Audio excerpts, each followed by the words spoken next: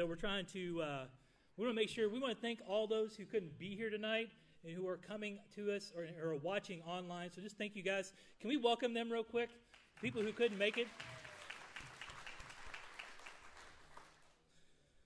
So tonight, uh, I'm going to be joined by my lovely wife, Jill, uh, as we talk about marriage. And so we've got a handful of speakers tonight. Uh, we've got myself, my wife, we're going to talk a little bit about marriage. Uh, we have Jessica Hagan and, uh, and Brian Meyer. They're going to talk about finance. We have Eric Simpson. Eric, where are you at? He's going to be talking about celebrate recovery. And then Tom's going to wrap us up at the end there. So uh, just we have a really great lineup of speakers. And so uh, we're going to go ahead and get right after it. Uh, oftentimes, my wife and I, when we're talking to couples about marriage, uh, we often go back to what is your relationship with Christ like? And they're like, well, what does that have to do with our arguments about money? Or what does that have to do with our arguments about parenting? And it really has a lot to do, a lot to do with it. And so some people are coming here and you guys are saved. Some people you're not. Maybe you've never heard the gospel. So I just kind of want to quickly go over that so we can all have the same baseline. First of all, we are all sinful, broken people. And when you put two sinful, broken people together, you're going to have conflict. And that includes my wife and I. You know, we look in Genesis 3 and we see that we're in a fallen world, it's not a world as God has designed. We look at, you know, the fact that we are all sons of Adam and daughters of Eve who are broken, and we're all sinful. We see in Romans 3:10 that no one is righteous. No, not one. And then later, 13 verses later, uh, Paul writes in 323, we've all fallen short of the glory of God.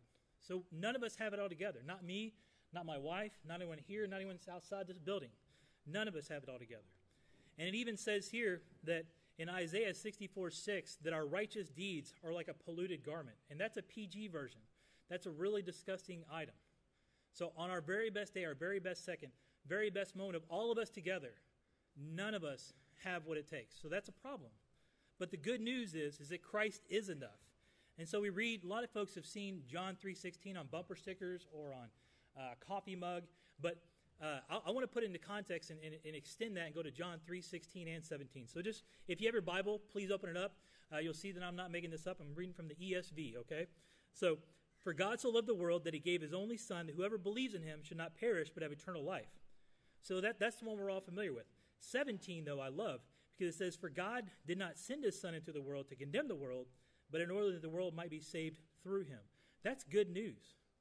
But the problem is, is that there's some people who don't know Jesus. And if you don't know Jesus, please don't leave here tonight without asking somebody about Jesus. Because the terrifying thing is, when, when Jesus says in Matthew 7, 21 through 23, he says, and again, this is terrifying. Not everyone who says to me, Lord, Lord, will enter the kingdom of heaven, but the ones who do the will of my Father who is in heaven. On that day, many will say to me, Lord, Lord, did we not prophesy in your name and cast out demons in your name and do many, do many mighty works in your name? And this is where it gets really terrifying. I don't wish this on anyone. In verse 23, it says, Then I will declare to them, I never knew you. Depart from me, you workers of lawlessness. So from there, where do we go? What do we do? And we, and we can spend all night unpacking the gospel, but that's not what we're here for. But you believe, you repent, you confess, and you get baptized. And if you don't know Jesus, if, if, if, if, this, is, if this is foreign to you, please don't leave tonight without asking somebody, because we want to make that our baseline. So as we dive in uh, to tonight, uh, our message uh, for those A typers out there, type A people, you want to know where I'm going? We're going to talk about Christ in the church. We're going to talk about conflict resolution, and we're going to talk about covenant. And we're going to come from Ephesians 5 21 through 33. So my my better half is going to read that. Um, yep. Um, submitting to one another out of reverence for Christ. What am I reading to you? Yep. All the way to 31. 33. Uh, wives, submit to your own husbands as to the Lord, for the husband is the head of the wife, even as Christ is the head of the church, his body, and, his, and is himself its Savior. Now, as the church submits to Christ, so also wives should submit in everything to their husbands. Husbands, love your wives, as Christ loved the church and gave himself up for her, that he might sanctify her having cleansed her by the washing of water with the word, so that he might present the church to himself in splendor, without spot or wrinkle or any such thing, that she might be holy and without blemish. In the same way, husbands should love their wives as their own bodies. He who loves his wife loves himself, for no one ever hated his own flesh, but nourishes and cherishes it, just as Christ does the church, because we are members of his body. Therefore, a man shall leave his father and mother and hold fast to his wife, and the two shall become one flesh. This mystery is profound, and I am saying that it refers to Christ and the church. However, let each of you, each one of you, love his wife as himself, and let his wife see that she respects her husband. So we just want to start with God's word because God's word is true. God's word is sufficient. God's word is inerrant, infallible. And so we either believe that or we don't because if it's not truth, then what? Then our, our own truth, our own belief is relative, and it's relativism. It's postmodernism. And so if, if you're not landing on truth, then, then, then your truth is your truth and my truth is my truth, and that just doesn't make any sense.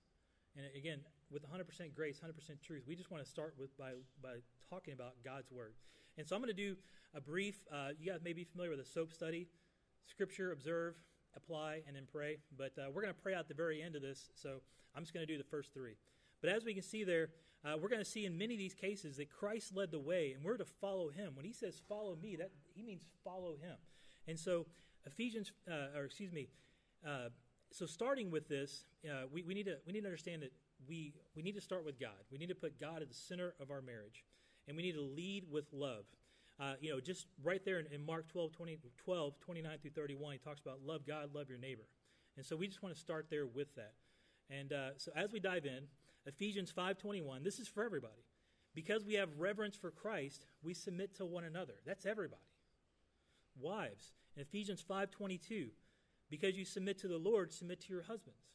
Ephesians 5:23, Christ is head of the church and husbands are head of the wife. Ephesians 5:24, church submits to Christ, wives submit to their husbands. So there's a lot of submitting there, and, and that's been weaponized against women for, for many years. And if that's your, that's your story, I hope that's not your story, because that's not the truth. Because if you notice, 521, before we went through all that, it says, submit to one another out of reverence for Christ. So there's many times to, to put that into application. Uh, we went on vacation in November. Uh, it, was a, it was a vacation she'd been planning on for years. And uh, bottom line, it wasn't the vacation I had wanted. It wasn't the vacation I had envisioned. But because I love my wife, I said, you know what? You've been planning this for a long time. It meant a lot to her. And I said, okay, let, us do what you got. Let's, let's do what you want to do. So that, that, that's just an application piece where it's you got to communicate, you got to have those conversations, and you got to go back and say, look, the Bible is this is what the Bible says, this is the truth, and we're going to land on the truth. So for husbands, we've got a few things in there. Christ loved the church. So husbands, love your wives because Christ loved, and so because Christ loved and we're called to follow him, we need to love our wives. It doesn't say, you know, when you feel like it. No, if you're a husband here today, go home and love your wife. Let her know you love her. Speak her love languages. If you're not familiar with that, I would love to talk to you after this. There's ways you can talk. You, you can you can serve your wife. You know, acts of service, uh, words of affirmation. There's gifts. There's physical touch, and I'm not necessarily talking about sex. And then there's also quality time. So learn to speak your wife's love language, but love because Christ loved us. Husbands, serve, help. Christ came to serve, not to be served. So, men, serve, help.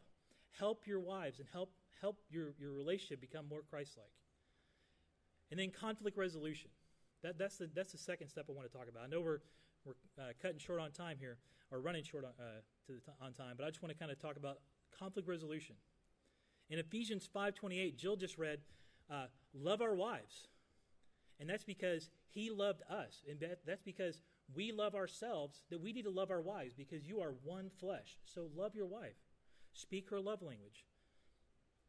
And then in Ephesians 5.29 through 30, because Christ nourishes us and cherishes us, husbands, if you're a husband out there, cherish and nourish your wife because you are one flesh. In those moments where there's conflict happening all around you, arguments about kids, about sex, about finances, love your wife, nourish your wife. Speak her love language. Let her know that she's loved. And then lastly, my last C is covenant. This is not a contract. When you get married, it's not a contract.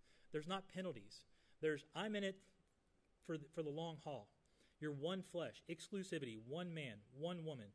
You know, when I, when I, took my vows, I, I wrote them down here. You know, Tommy, will you take this woman as your wife to live with, to hold from this day forward? Will you love her, comfort her, guide her, protect her, lead her, Never forsake her. Keep her on her. Keep her in sickness and in health, as long as you both shall live. Will you lead her through the scriptures and lead her in ways of God? And if so, answer, I do. And I do.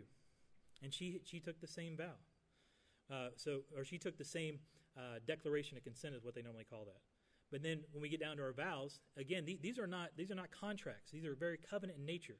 So I say, I, Tommy, take you, Jill, to be my wife, to have and to hold from this day forward, for better, for worse, for richer, for poor, in sickness and in health, to love and to cherish, until death do us part. As God is my witness, I give you my promise. So when you're when you're going through this summer and you're trying to guard your marriage, remember this is a covenant. It's not a contract. It's not because she did something or I didn't do something. We're in it to win it. We are in it for the long haul. We are in it thick and thin, good times and bad. And then lastly, uh, in Ephesians 5:31, it talks about you know uh, when Jill was talking about uh, leaving and cleaving, uh, leaving your family behind. You know, men and, and women, we, we leave our families behind. We leave the old, and we hold fast to our spouse. We fully trust and we fully commit to them in these moments during that conflict, during the good times, during the bad. We are one. There's not two anymore. You know, I, I just uh, I read a unity candle thing for a couple who got married a few weeks ago, and and one thing uh, was brought to my attention about flames, and that is when you have a unity candle, it's two flames coming to one. Well, when you have a one flame, you can't separate that. At least you can't separate it without getting burned, getting burned bad. Okay? It's two flames. Now you got one flame. You are one, and you can't separate it. Ephesians 5:32, marriage represents Christ in the church. This is the purpose of marriage. The purpose of marriage is not for me to be a better husband or for her to be a better wife. The purpose of our marriage is to help each other become more Christ-like and to be more Christ-like. And then lastly in Ephesians 5:33, love because you because you love yourself, self-preservation. We all love ourselves. We all like there, there's a reason why we pursue pleasure and avoid pain. So because you love yourself and because you're one flesh, go love your wife. Go out there and go love your husband. You're one flesh. Take care of the one flesh. Pour into the one flesh. Heal the one flesh. Ask questions. Seek out your spouse and pour into them. And then lastly, church represents the church respects Christ. And so because the church respects Christ because Christ led the way, wives respect your husband. Love and respect. Put God first. Practice your promise. And you got a whole summer, and don't forget to inject some serious fun. I love you guys. If you guys have any questions, I'd love to talk to you afterwards. Thank you for calling Money. I'm here to give you financial advice to make your life better and you better at life. This is Money. How can I help you? Karen, what? Get out of here. Karen, we have not talked since your piggy bank days. How are you? Hello, this is Money. It's a great day to be green. Yes, the environment is important too. Uh, I was referring to green, the color of my shirt, which you cannot see, uh, and the fact that I am the embodiment of money. Uh, I should get a better slogan. Absolutely, Kevin. I can tell you your net worth right now. It's nothing. Yeah, no, like 0.00. But listen, hey, even though you're technically worth nothing in like, you know, dollars and cents, did I ever tell you how much our friendship means to me? It is this much. I don't know, Karen. At the end of the day, what's the real difference between the 10 and the 11 Pro X? Whoa, three lenses. We just have to tool around with your financial plan, but we can get it, all right? Yeah, your security code is 616. Oh, you just bought it just now. That was quick. Okay. Uh, well, can we talk about your new plan? Karen? Karen, hello? It's weird as if you like hung up the moment I said plan. Uh, you spent $72.34. Can I just say, that's a lot of McFlurries for any one person, you know? Listen, Sonia, I- I know we've been on the rocks, but I don't want to give up on us, okay? I'm just asking that you check up on me every now and again. If you don't talk to me, I can't help you. Leon, hey, oh my gosh. That's a lovely boat, man. A power boat for a power man, and that is you, buddy. Yeah, uh huh. You want to buy it? That's a good joke. Oh, you're serious. Okay. Um, well, if we do want to go ahead with it, we're gonna have to make some changes. Uh, so that probably means no more food, shelter, or water. Mm-hmm. Yeah. No, you're right. It's a gorgeous boat, just like you. Okay. All right. Well, I'll, I'll talk to you later. You bought that boat. Look, it's your money at the end of the day, but I'm just trying to give you advice to help your Washingtons become Lincolns. You feel me? And then those Lincolns can maybe one day become Hamiltons. And then those Hamiltons can become Ulysses S. Grants. That's the 50, the $50 bill. Mhm. And then those Ulysses can become Benjamins! Woo, woo, woo! Oh man, Karen, you're the best. No, you are. Uh, No, you are. Man, I'm so glad we took the time to reconnect. Let's do it again sometime soon. How about tomorrow? Okay, we all have that little guy that likes to sit on our shoulder and fight with the other one on the other shoulder. If he would just speak a little louder sometimes. Um, I just want to take a few minutes to share with you how you can create the best summer ever when it comes to handling your finances. Money is a very sensitive topic for most people, but the way we handle our finances impacts so much more than just our wallets. There's two different ways that we can look at our finances, two different lenses. We have the worldly lens and we have the biblical lens. When we view our finances through the worldly lens, this is where we may see the little toddler within all of us that throws the grocery store tantrum. We want something, we want it now, we want it right now. We justify our irresponsibility and consumption of debt. We have to keep up with the Joneses, so we live paycheck to paycheck. Truth be told, 80% of Americans live this way. Most of us don't know any other way.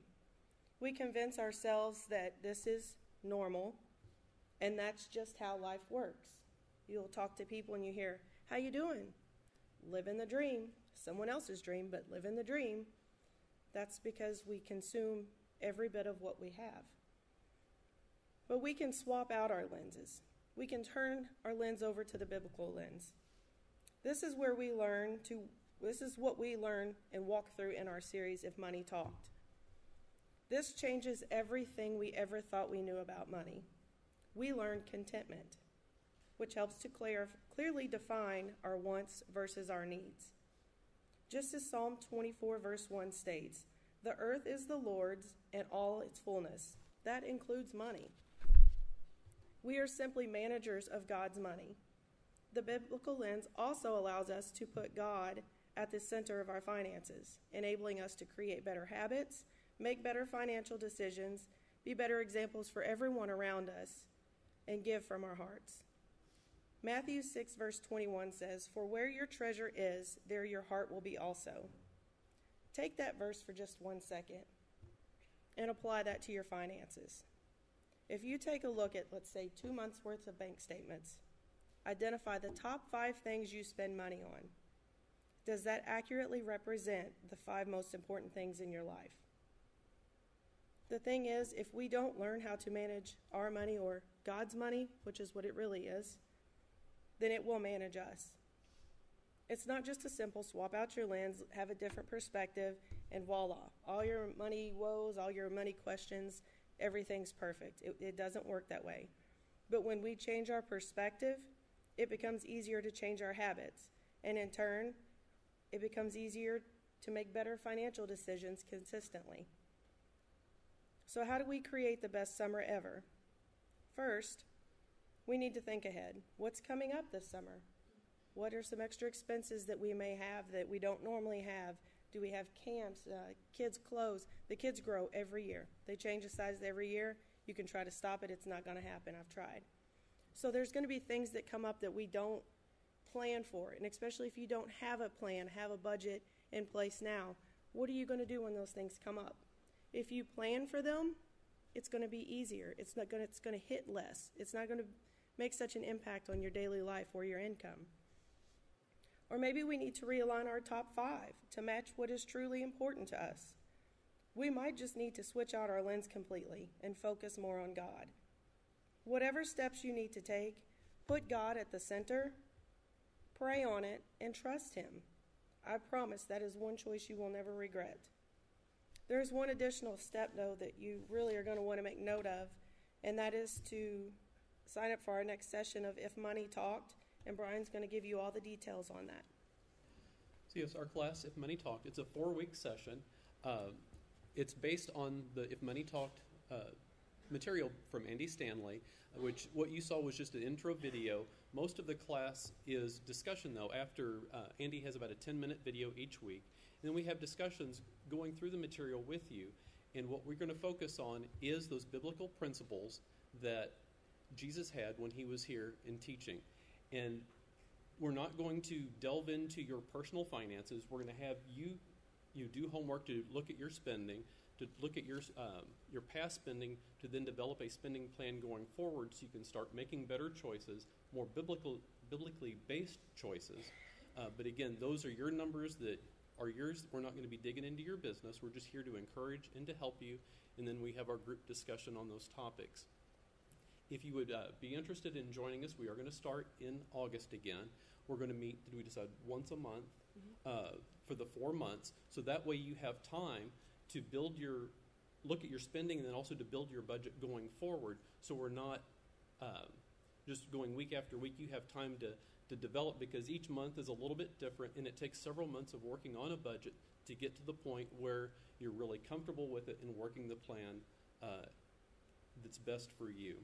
And one of the things that I really uh, got a lot from uh, from this material with uh, Andy Stanley is the last lesson. The one thing he talks about in giving uh, is he wants you to flip the script because normally we spend for me, me, me, me. If there's anything left, we save a little bit, which is also for me, and then we get to giving. But he wants us to flip that because Jesus wants us. You know, he told us in Mark that the greatest commandment was to love the Lord your God with all your heart, soul, mind, and strength, and to love your neighbor as yourself.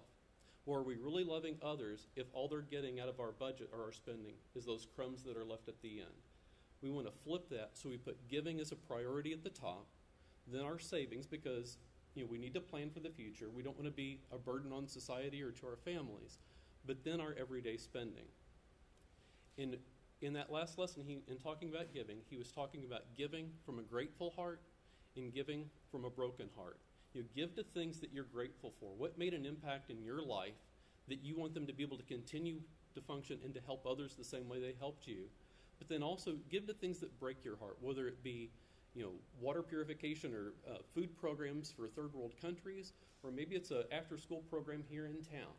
But to give the things that really mean something to you, so that you're joining with God. Uh, you know, in Second Corinthians, Paul said, God loves a cheerful giver.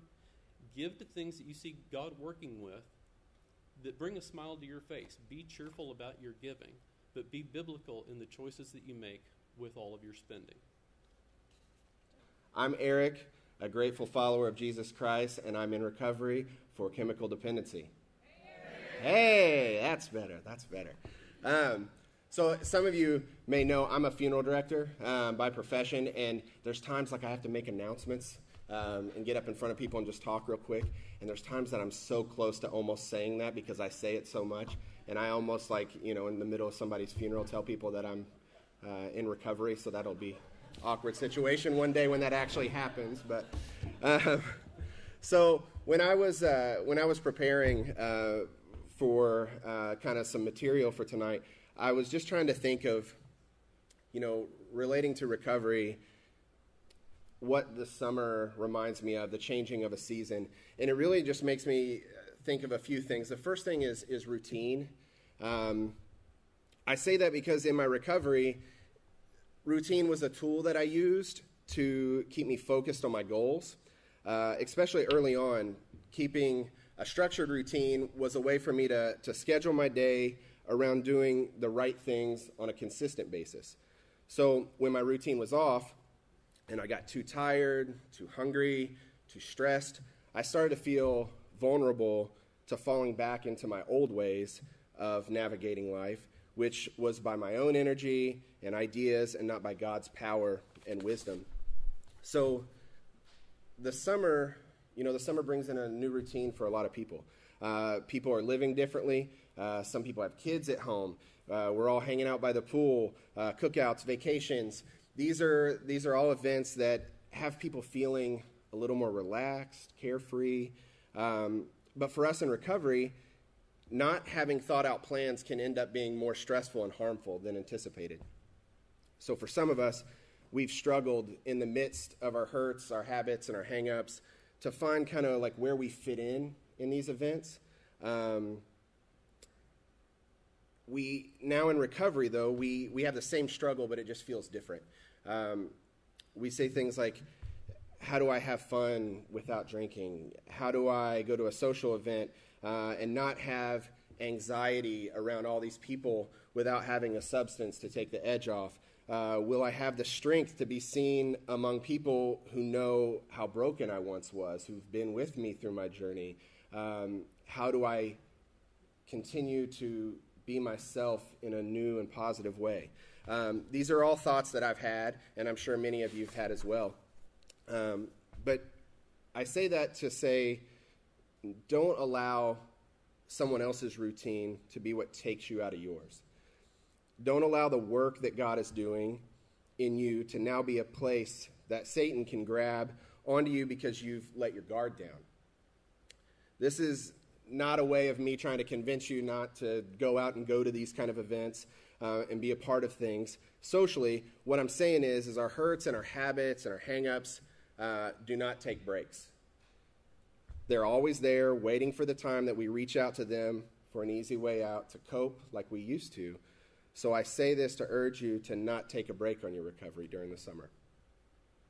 The words renewal, hope, freedom uh, also come to mind when I think of the changing of a season. If you're like me, you tend to set imaginary start dates or guidelines for yourself. I'm sure you've done that before. In my in my recovery, in my addiction, it looked like uh, on on Monday, Monday, I'm going to stop doing what I was doing when Monday comes around. Or uh, this bottle that I just bought is going to be the last one, and then I quit. As soon as that's done, I'll quit. Or after vacation, I'm going to start eating healthy. I'm going to start taking care of myself. I just need to get through vacation, and then I'll start, you know, back on track. In recovery, those those silly rules that we never follow through with can now be reframed as goals or items on a list of gratitude to God. So the summer can be a time for you to say, my vacation is not going to be just me going somewhere to a resort, to the beach, wherever, to be tempted to do all the things that I said that I wouldn't do again. But instead, I'm going to spend more time in nature and God's creation. I'm going to start my mornings outside in the sun, reading God's word. I'm going to surround myself with people who bring out the best in me, but don't make me feel bad about not being who I used to be. So stack your routine with not just things that fulfill you, but the one who fulfills you, and that's Jesus Christ. So I've said this in Celebrate Recovery before, but surrendering isn't a weakness when it's surrendering to God. The surrendering of your struggles to a God that will take those and turn them into an exact, the exact quality which makes you more powerful through Him is what empowers us to be truly free. The scars of our former lives are now badges of honor that give God the glory He deserves when we share our story with other people who are hurting. So my hope is that we add the sum or we add this summer to our gratitude list, that we continue uh, to come out of this of summers and new seasons just thanking God for what He did for us in the season. That's all I got. Thank you guys. Everybody, welcome Tom. For those of you who maybe don't know me, I'm Tom Gilbert. I'm one of the pastors here. Um, it's great to have you all here. It's great to be talking about creating the best summer ever, guarding what's important. Um, Eric and I talked a little bit before, and we had some similar talking points, so I may not say anything that's on my notes, but uh, we'll see what happens. Um, as I was thinking about kind of how to explain what we do, I wanted to talk a little bit about care ministry and care night and why we're here. Um, I came on staff about two and a half years ago. Um, we had, at that time, Divorce Care, Grief Share, and Celebrate Recovery had just started. Uh, they were all on separate nights. Um, and it, I just felt God really tugging uh, me toward building community, bringing hurt and broken and lost folks together uh, to heal together, to support one another. And I really want to encourage you if you're new, uh, maybe you were just new this season for a group, um, we really are a community. Uh, we really want to support one another, and it doesn't matter why you're here. I really like the language from Celebrate Recovery because they talk about if you have any hurt, habit, or hang up, you belong. Well, I haven't met any human beings yet in my lifetime that don't have a hurt, habit, or hang up. So everyone's welcome. And the truth of the matter is, if everybody who needed to be here was here, we wouldn't have space in the new auditorium. We'd have to be in the centrum or the main auditorium. So you are the folks that know you need to be here, that desire to be here, that want the healing that's offered here. And that's great, and I'm glad you're here.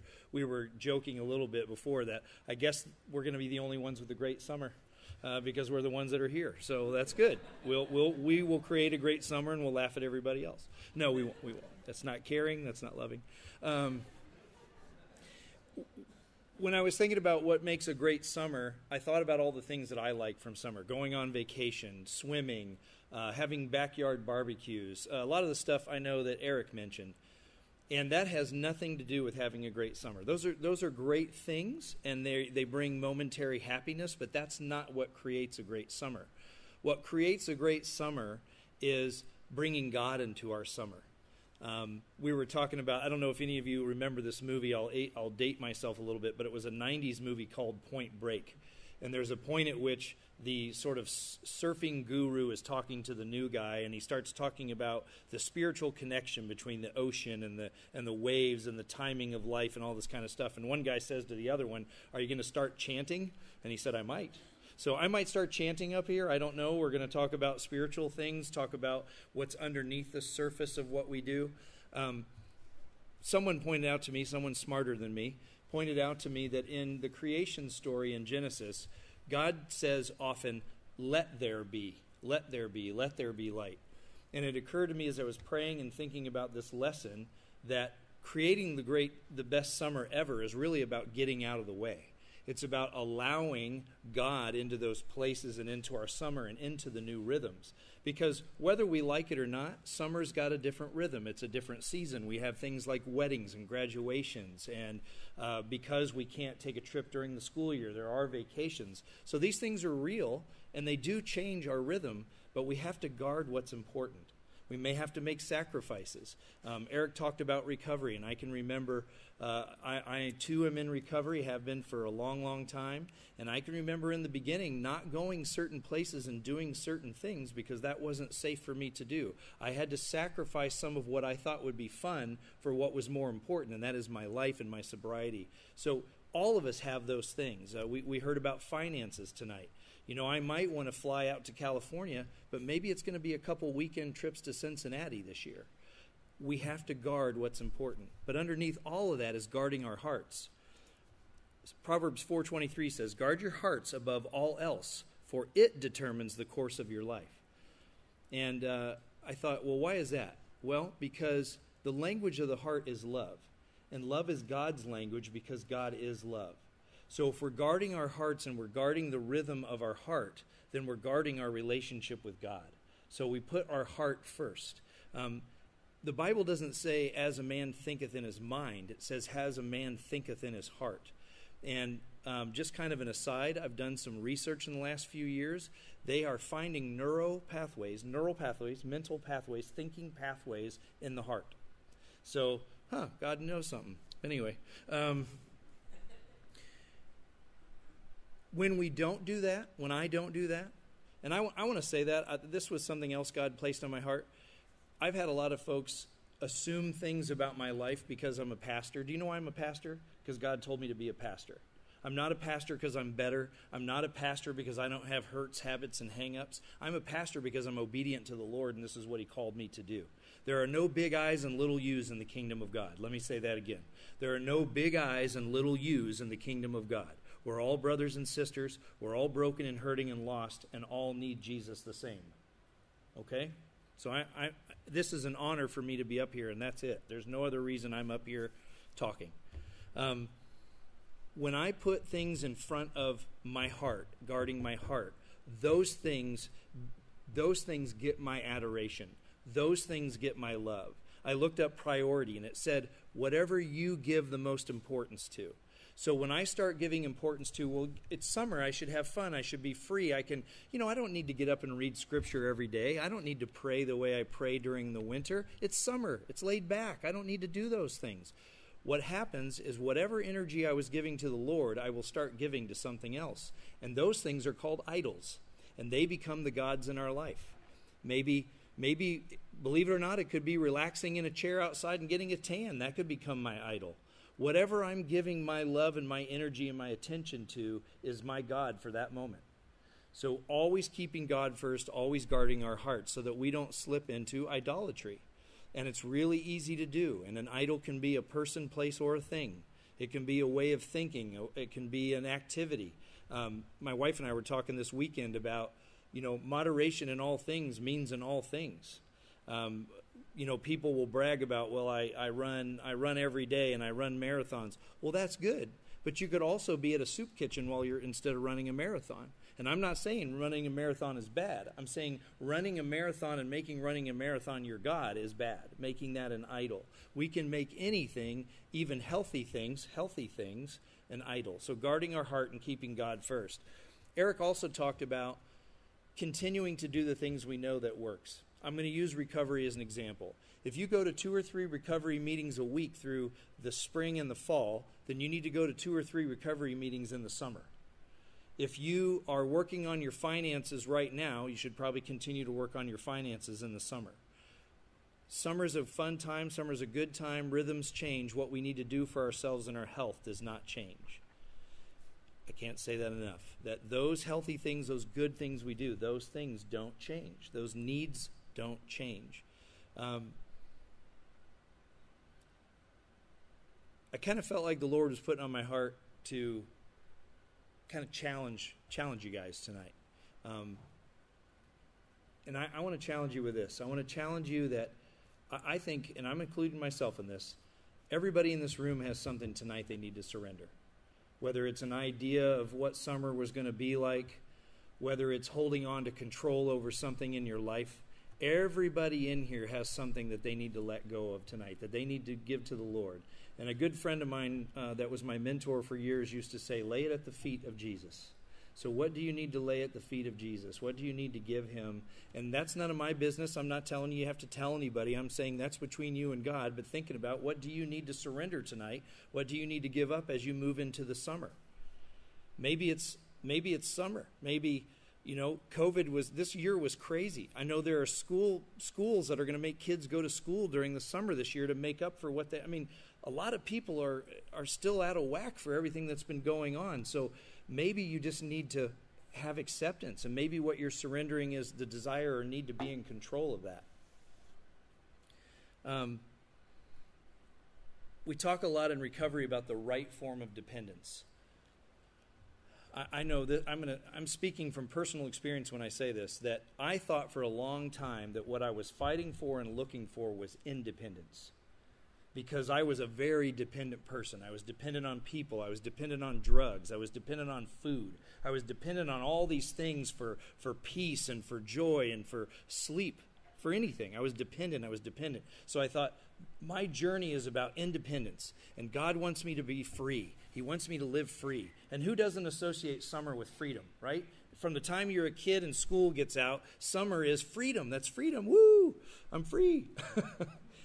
but that's not what the Lord is asking us and calling us to. He's calling us to two forms of dependence, and they're the right forms of dependence. And the first one, of course, is dependence on Him. He wants to be our peace, He wants to be our joy, He wants to be our rest, our sleep. He wants us to be dependent on Him. And instead of independence, we're practicing the right form of dependence. But the second one is just as important. It's going to sound really familiar to you in a minute. So if our first dependence is on Him, our second dependence is our interdependence on one another. What are the two greatest commandments? Love God, love your neighbor.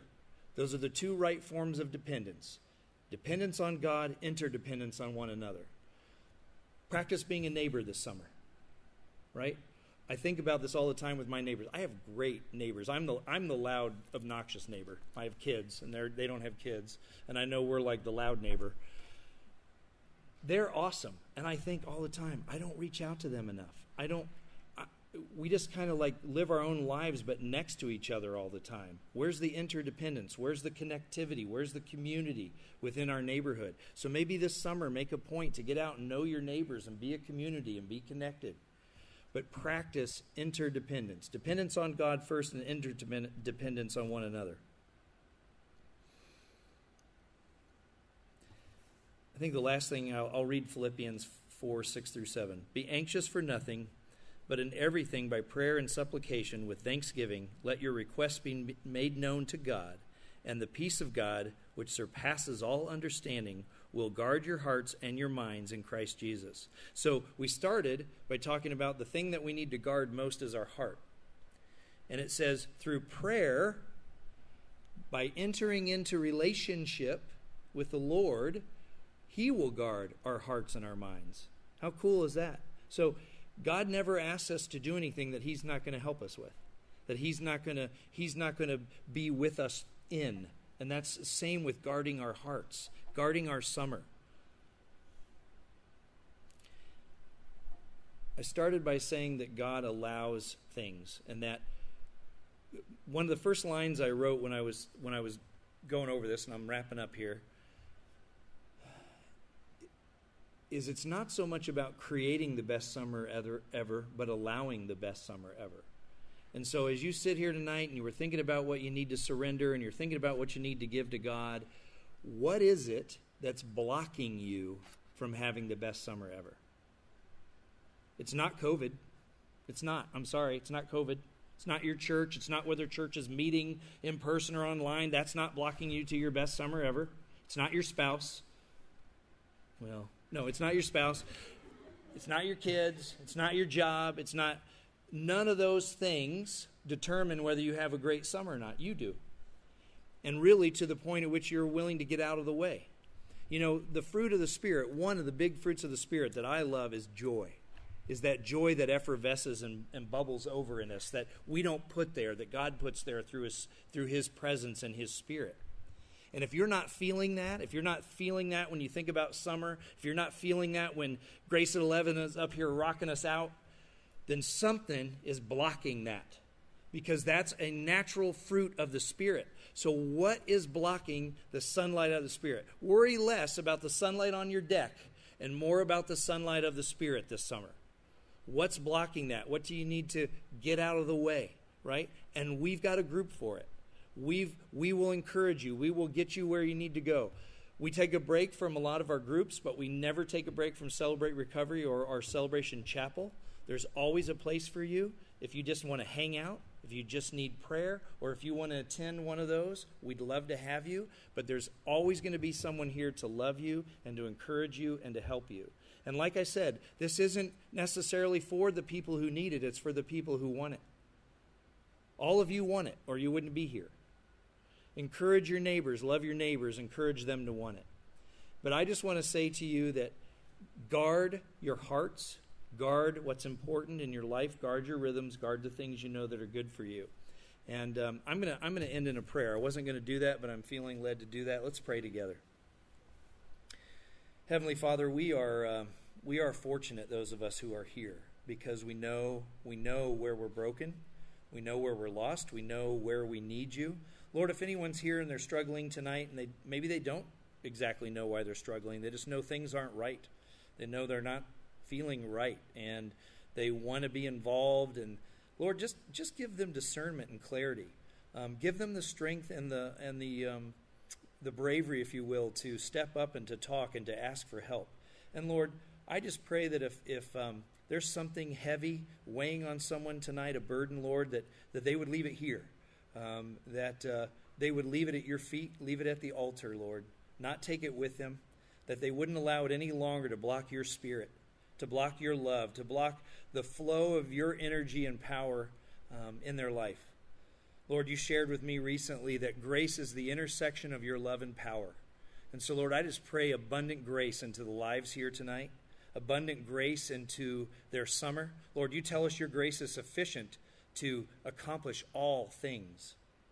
So, Lord, just, just grace. Just pour out your grace on this room and on the people in this room, on their families. Lord, be a salve to any wounds, be a solution to any problems. And thank you again, Lord, for all the leaders and the volunteers and the folks that made tonight happen. And thank you so much for Grace at 11 and the energy and love that they bring in their music. Lord, let us worship and give our hearts to you tonight. In Jesus' name, amen.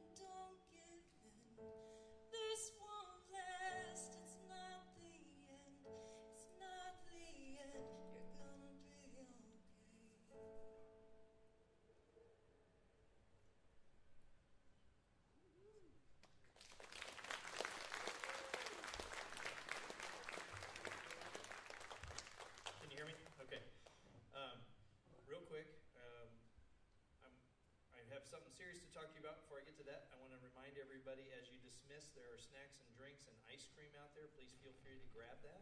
If you're here for a group, many of you are having your last group for the, the season before you come back in August. Um, so you're, you, when we dismiss, you'll be free to go to those groups. If you have any questions about where something is, um, please let us know. But before we close this evening, I really felt like we needed to um, do kind of an old fashioned altar call. If you're here and you don't know Jesus Christ as your Lord and Savior, we would love to pray with you, talk with you, help you uh, walk through that decision and choice. So I'm going to ask our care team to come up. They're going to spread out along the stage.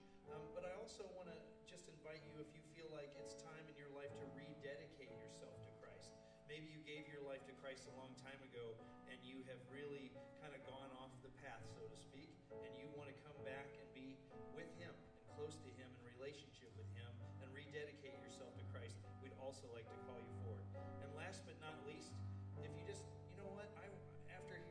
speak, I want to dedicate my summer to the Lord. I want to I want to guard those rhythms and guard my heart and make sure that I'm walking as strongly with God in the summertime as I am the rest of the year. If that's if any of those are you, we invite you forward right now. Come up to one of our care team and they would love to talk with you and pray with you. And for the rest of you, uh, Grace at 11 is going to kind of play us out. I'm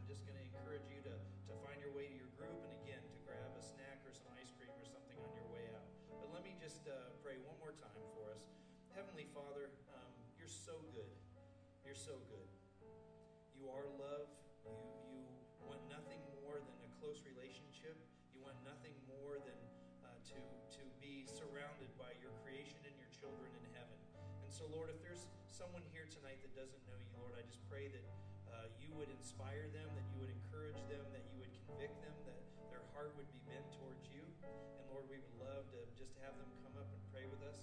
God, I I thank you so much for those that have realized they've strayed